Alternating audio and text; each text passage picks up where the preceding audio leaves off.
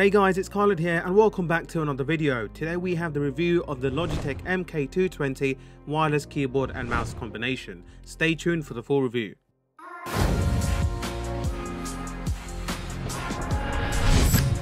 So I have had this keyboard and mouse combo since around the start of COVID.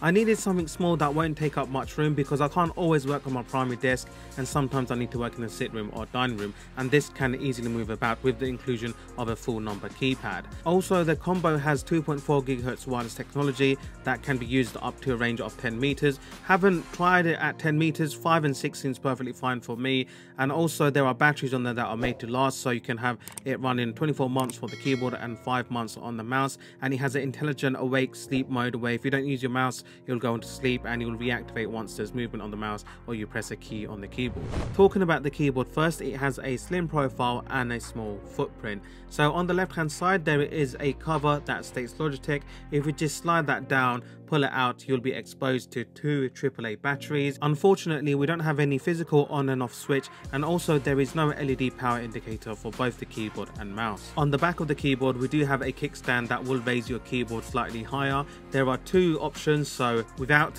and with the kickstand. I personally use it with the kickstand because it's more ergonomic and it feels better to type. For such a small keyboard, there is actually quite a nice amount of travel between the key and the button press and it does feel reassuring. So if you're doing a lot of work on Excel, on Microsoft Word, you do get that good amount of feedback and you definitely know if a keyboard has been pressed. And that is definitely something that a lot of people look for that are working from home or if you're a student. Now granted this may not be the best keyboard for gamers because you'll ideally want to look for a mechanical keyboard but for everyday use for everyday work this is absolutely fine and I've had no issues typing up long documents or emails Moving on to the mouse, now the design is actually pretty basic, however the ergonomic and comfortability is really good. I've been using this for around 3 to 4 months now and it wraps around my hand really well. So there is also indentation for the index finger and middle finger, so it houses both your fingers really nicely on the left and right click. We'll also have the click button on the middle wheel along with the scrolling function. So I'll just quickly give it a quick click just so you can hear how reassuring it sounds. Alright, so we have the left click, right click, middle click, along with the scrolling function.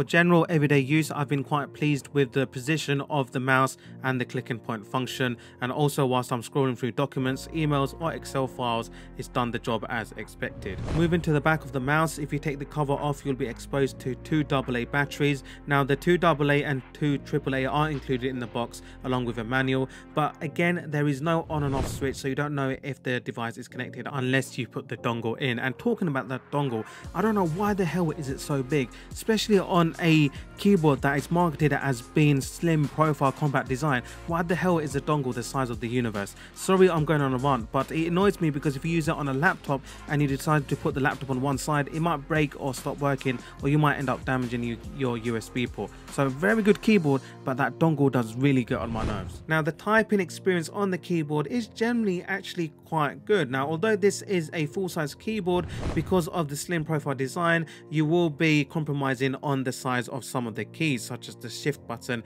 and the arrow keys. So overall I'm actually very happy with this keyboard. It does its job and it's very good for its use. However there are some caveats. So first of all there are no physical power switch for the keyboard and mouse and there's no LED indicators to show if it's been turned on. Secondly we do not have a full size arrow cursor so it's quite finicky to use but after a couple of hours you do get used to it.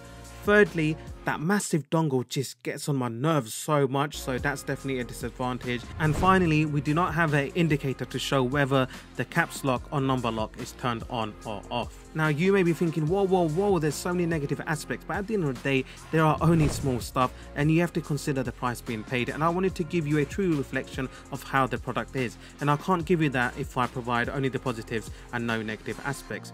Alright guys, so it's been your boy Khaled. Thank you very much for watching it. If you have watched till the end, then thank you very much. If you have a moment, then please leave a like, comment if you have any questions, and hit that subscribe button. And as always, I'll see you in the next one. Take care and peace.